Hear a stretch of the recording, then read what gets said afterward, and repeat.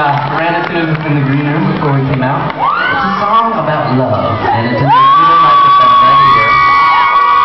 So you need to, even though you are a great attentive audience, be especially attentive for this one right here, so you can hear his beautiful high voice.